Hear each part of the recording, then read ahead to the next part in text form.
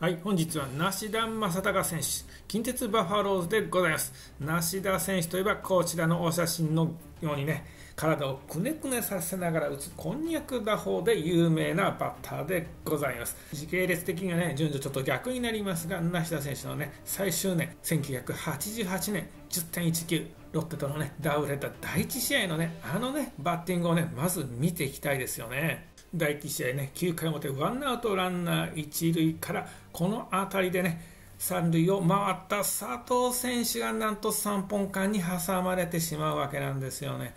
これね、タッチアウトというね、結果に終わってね、ツーアウトね、2塁になってしまうんですよね。佐藤選手にとっては痛いところ、そしてね、ツーアウト2塁、ここでプロ17年目で大胆梨田正孝をね、扇監督は選択したわけなんですよね。梨田選手にとってはね、こちらがね、現役最後の打席になるかもというね、打席だったわけなんですがね、牛島もね、梨田選手と勝負ということでね、これね、ちょっとこれ詰まったのがね、幸いしたとね、ご本人もね、言われてるわけなんですがね、これがついね、勝ち越しのね、1点になるわけなんですね。後でね、ベンチに帰ってきたらね、涙をボロボロ流しながらね、佐藤選手がありがとうございますと言ったわけですからね、本当ね、佐藤選手をね、救った一打でね、本当なんか嬉しそうなね、様子が伺えますよね。梨田選手は島根県浜田市出身で、高校は浜田高校。高校3年生の春夏とね連続して甲子園に出場されております。そしてねドラフト会議の時にはね、まあ、島根県ということでね近くの広島東洋カープを希望していたわけなんですけれどもドラフト会議では近鉄バファローズに2位指名されてね入団されるわけなんですがこれはなんかね初々しいしねなんですか学生の服の上にねユニフォームを着てるっていうのもねなかなかいいですよね。そしてね、梨田選手といえばね、こちらのね、お写真左に写っております有田修造選手とのね、ライバル関係がね、これから続くわけなんですけれども、梨田選手がね、入団した翌年にね、ドラフト2位で入ってきました有田修造選手。まあね、社会人経由ということで、年齢のは有田選手の方が2つ年が上なわけなんですが、先にね、正捕手を獲得したのはね、高卒3年目74年に115試合に出場したね、梨田選手だったわけなんですが、しかしながらね、梨田選手の打率が1割9分4厘とね、打力がね、ちょっと弱かったわけなんですよ。強打がね、売りのね、有田選手が75年にはね、112試合で打率2割5分9厘、ホームラン7本とね、正捕手の座をね、奪い取るわけなんですよ。翌76年も124試合で2割6分3厘6本とね、有田修造選手のね、打撃の方が梨田選手にね、勝っていたわけなんですね。打撃がね、課題だった梨田選手はですね、こうなんですかね、構えでね、力が入りすぎる癖があるからね、なら最初からね、下げたらね、もうね、力が、ね、入りすぎるのじゃないかということ、そしてですね、もう逆転の発想ですね、抜いて手足をこうこう動かす、まあ、こんにゃくだろうって言われてるあれなんですけどもね、これがですね、もう練習ではね、なんかいい感覚やったらしいんですよ。でね、監督もね、なんかね、そんな変やからやめろみたいなこともね、西本監督言わなかったらしいんですよ。試合に、ね、なりますとね、なんていうんですか、その、やっぱりね、面白いね、打法なわけでね、おい、トイレに行きたいんかとかね、やじられたりね、したらしいみたいなんですけれどもね、もうね、だんだんね、これがね、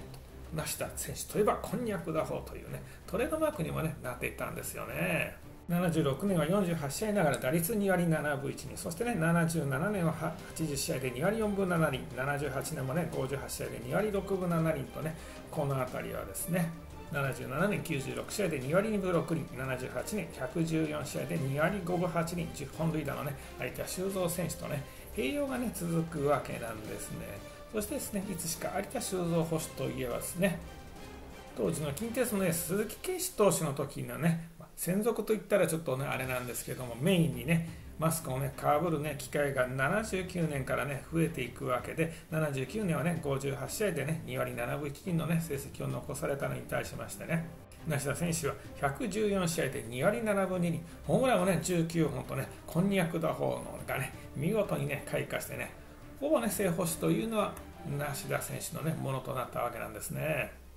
そしてねこの年は近鉄も優勝いたしまして迎えた日本シリーズの、ね、様子をね見てみましょうか。こちらはですね日本シリーズ第7戦あのエナスの21球のね、まあ、9回を迎える前の回8回にねこの日ね梨田選手がここでね代打で登場するわけですがね。やはり構えがねこうちょっと背中が丸まったこれですね。まさにこれがこのこんにゃく打法っていうやつですよね。腕がねグリップの位置がね下がってますからね。このね、こんにゃく打法というのね、当時ね、真似された方もね、結構いらっしゃるんじゃないですかね。私のですね、近鉄ファンの友人なんかはね、よく真似してましたね。そしてあの、体育の授業でソフトボールあるじゃないですか。その時もね、その友達はね、こんにゃく打法でね、打ってましたからね、すごいな、やっぱりこの打法は。こうやって改めて言いますとね、なんかすっごい本当にグリップの位置がね、下ですしね、よくなんか今の言ったらほんまトイレ行きたいかなっていう感じですけどよくこれで打てるなっていう感じしますよね。まあここは残念ながらねライトフライにね終わるわけなんですけどもね。そしてね次のバッターはこの日はね近鉄の先発が鈴木圭司ということでスタメンマスクをかぶっておりました。こちら有田修造捕手のね打席が回ってくるわけなんですね。やはりねこのライバル関係にあるわけなんですがね有田選手のねパッティングというのもね見てみたいですよね。有田選手はね、やはりね、パンチ力がね、あるっていうね、印象が私強いですね。83年にはね、77試合ながらね、17本もね、ホームラン打ってますからね。梨田選手というね、保守としてのね、能力もやっぱり高いわけでね、こんにゃく打法ね、大力のいい一方でね、キャッチャーとして79年から81年までね、3年連続ダイヤモンドグラブ賞をね、受賞されていましたね。まあなんとね、肩が強いということもあるんでね、盗塁阻止率がすごい。79年は5割3分6厘、80年は4割7分9厘、81年はね、4割1分3厘とね、通算でもね、3割9分1厘というね、高い盗塁阻止率を誇って